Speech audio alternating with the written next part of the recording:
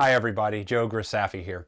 Given what's happening in the world today with the coronavirus COVID-19, I want to offer you some advice that was given to me very early in my acting career, and that is do not offer the casting director a handshake when you go into the audition room that casting director could be seeing 100, 150 or more people a day. That's a lot of handshaking and a lot of potential for germs to be transferred. And you do not want to get anyone sick, not yourself, not the casting director, not anyone else that they deal with throughout the day. So just do not offer a handshake when you go into the room.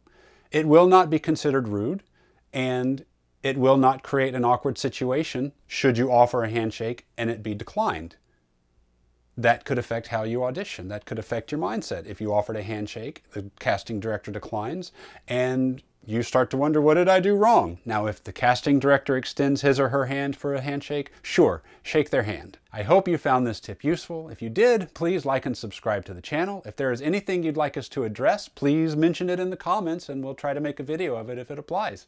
Thank you, everybody. Stay healthy. Joe Grisaffi. I'll talk to you later.